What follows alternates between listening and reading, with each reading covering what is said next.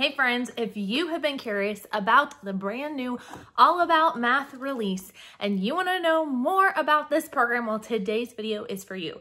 I have compiled a bunch of questions from you guys here on YouTube, Instagram, and Facebook, and I'm going to share the answers to the most frequently asked questions that are going to help you get a better peek inside this curriculum and what you can expect. So let's get started. Question number one, how many levels of All About Math are available and are going to be available? So eventually All About Math will be levels one through five.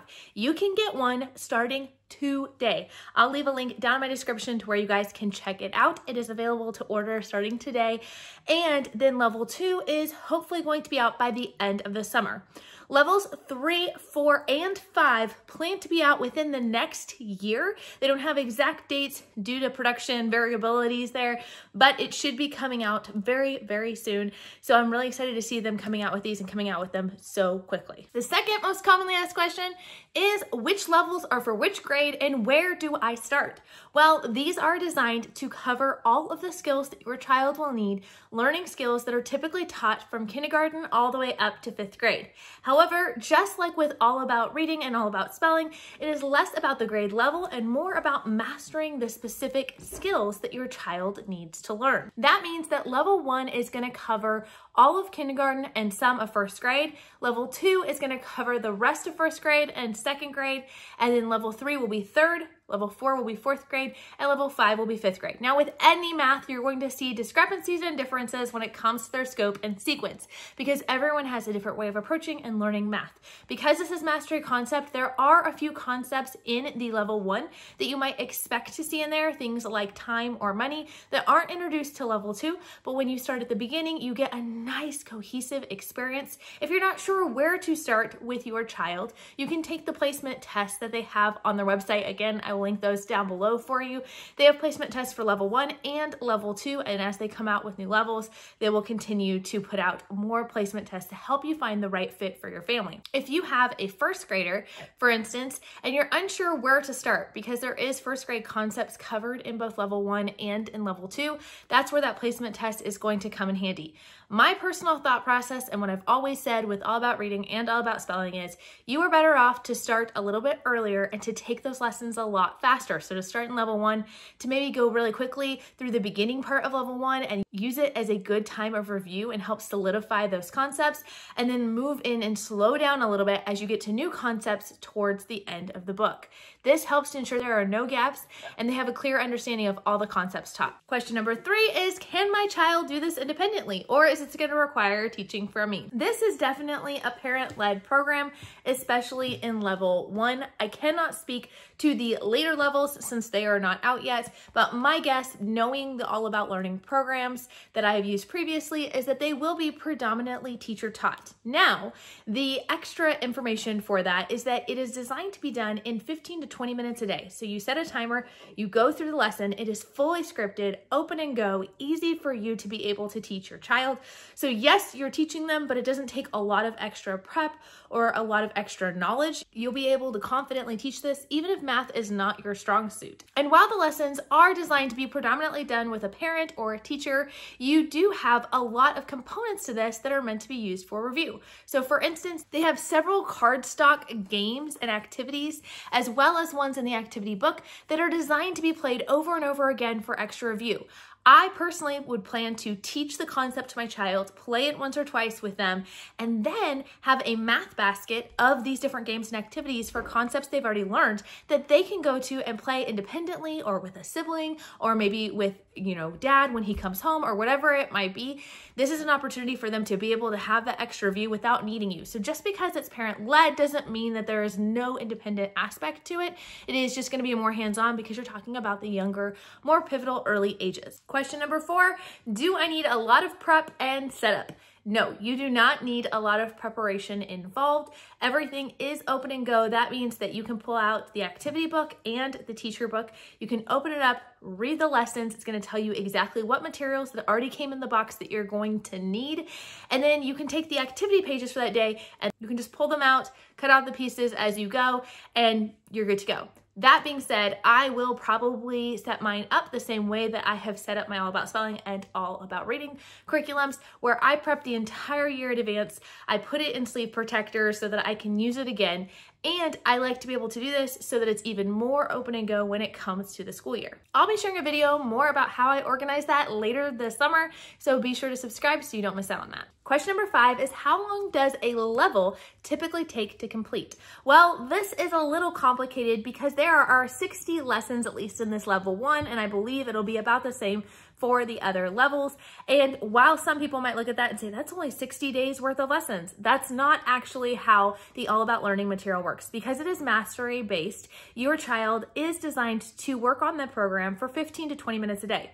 Sometimes, especially if it's more review for your child, you might be able to complete one lesson a day, but most of the time it's actually gonna take your child a couple of days to complete the lessons. And I've even had in All About Reading, it take a week or more to complete a lesson, depending on how your child is doing with concept. I love the fact that they incorporate so many review games and activities, so that if your child is struggling with it, you can sit in that lesson for as long as you need, but also, if your child is moving quickly, you're able to get them through the material they need to know at a rapid pace. This means one level could last you an entire year.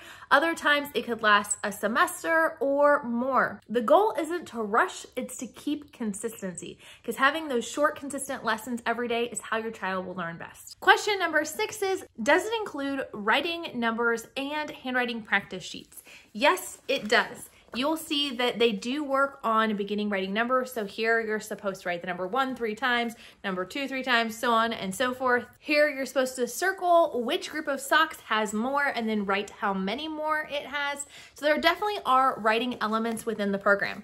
I will say though that this program is lighter on the writing, which makes it perfect developmentally for a lot of kids who are in those early ages. I see a lot of math programs out there that are really phenomenally done, but have so handwriting that it really can bog a child down because their mind is able to handle the math concepts much quicker before their actual fine motor skills are able to keep up with that. So there is writing practice in here, but it is light and it is very, very adaptable if you need, if you have a child who is struggling with writing, or if you want more writing practice, you could always incorporate that on your own. So of course, the second we start talking about writing in the book, the question comes up, is this reusable? Can you use this for multiple kids or do you have to have an activity book for each and every one of your kids? Well, the answer is simple. Just like All About Reading and All About Spelling, All About Math was designed with the idea that every child would have their own activity book. However, many parents, like myself, actually reuse the material over and over again to give us the best bang for our buck. Now, if you only have one child, obviously you just need one book. And if you maybe even I've considered with having only two little ones now, with my older kids all being older, maybe going ahead and doing it and not saving it. But I will tell you, I'm using the All About Reading with my kids that I was using with their brother who is almost 16. So it definitely works great to, to prep it, preserve it, and pass it down to your kids if that's something you want to put the time and effort and energy to. Otherwise, you can buy individual activity books for your children.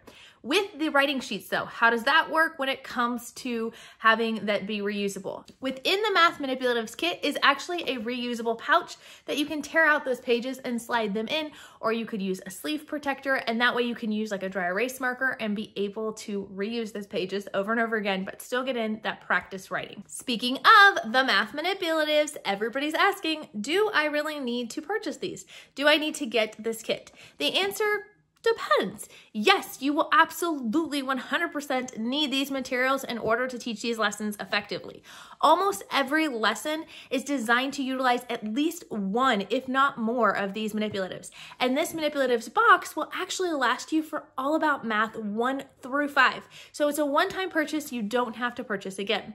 Now, why should you possibly not purchase it? Well, the reason is simple. If you already have all of these math manipulatives or the majority of the math math manipulatives, you might be better off just picking and choosing the ones that you're missing instead of buying the entire kit. What all is included in that? Well, we've got our base 10 blocks. So this is our block of 1000 our blocks of 100, our blocks of 10, and our blocks of one. We also have the snap cubes. I've had a couple of these sets over the years, but I'm glad to get a new one because I am out. These all snap together and make it really easy for your child to learn, especially a lot of those beginning addition and subtraction skills. It comes with two packs of counting bears, so 40 in all. It comes with a ruler. It comes with a protractor, fraction tiles, which I absolutely love these. These help you to see parts of a whole very easily. And you have your counters. Now, again, not all of these will be utilized in that first level. Some of them will be used in levels three, four, five, but this is something to keep in mind. If you don't already have these things, grabbing that set, getting the nice container that it all comes in to store it might be the best bet for you. Question number nine is, does this math include mental math? And the answer is Yes, mental math is that ability to be able to see a problem and to be able to answer it in your head and not require paper for it. It involves that deductive reasoning of being able to use your visual perceptions and logic to be able to understand what is coming next and looking for those natural patterns. It's also usually involves some subitizing, which is that idea of being able to see five pennies on the table and know immediately it's five without having to physically count them. And yes, yes, those skills are built within this program. Yes, you are going to have times where your child is going to write down the problem. It's not exclusively mental math, but there are elements where they're asking relationship building questions, where they are asking how many more do you need to get to 10? It includes five frames and 10 frames that your child will utilize. You'll have counters on here and say, all right, how many do you have left? And they can easily see there's three spaces left that they have or whatever it might be. So there are a lot of these different types of mental math exercises that are included. Question number 10 was probably the most asked question. And I'll be honest, I'm not sure I can fully answer this all the way, but a lot of people wanted to know how does this math compare with math with confidence? This is a question I get all the time, and the truth is I don't feel fully confident in answering this question because while we did use math with confidence for a short period of time, we ended up transitioning out of it because my younger two girls ended up having math being taught by my friend Wendy over at Plan Prep Pray for a season. And so because of that, I don't feel like I can speak for all of the Math with Confidence uh, community there. Or again, I have not gotten the opportunity to actually get to utilize this All About Math, even though I have poured hours over this curriculum and learning more about it. But let me tell you a few things I've observed and maybe would be helpful to you. Both of these are gentle approaches to math. Both use a very logical sense of when and how to introduce math, different math concepts to your kids, although both do have very different scopes and sequences. So if you're considering one or the other, you may want to check out their scopes and sequences to see which might be the best fit for you. I have heard it said, and I have personally experienced that the Math with Confidence teacher's books have a lot of moving pieces and sometimes sometimes there can lack some clarity on how to utilize those moving pieces. Now, many people have just gotten used to it and they love it and they go with the flow and that's great. I think one of the things that All About Math has going for it is the fact that so many people are used to utilizing their teacher's manuals for All About Reading and All About Spelling that it's just kind of natural. It just sort of fits and makes sense because I'm already used to utilizing their other teacher books so I know exactly how it's laid out and they really follow that same pattern as much as possible when it comes to this curriculum. So I think in general, you're gonna find that All About Math is a little bit more open and go, especially because they have that math manipulative kit with everything already included. Whereas with Math with Confidence, they use more found items, which is great, but you do have to go and find those items. So neither good or bad, just something to keep in mind. Another thing that I find difference-wise is that with All About Math, the teacher's book is full color, has a lot of additional helps for you. So they're like, hey, if your child is really struggling in this concept, here's something you could do to make it a little bit easier. Hey, if your child has like flown through this concept, you actually could take it up a notch and make it a little bit harder to help them understand more. So there's more teacher helps as far as that goes and just more information for the teacher, whereas the Math with Confidence is black and white and is um, has less of those extra additional helps. Again, both are great programs, not here to convince you one way or the other. And again, I don't feel fully confident in sharing a full comparison. I can maybe do that after utilizing both of them a little bit more, but I wanted to give you my first initial thoughts. If you want to learn more about the All About Math program and see inside, be sure to check out this video here.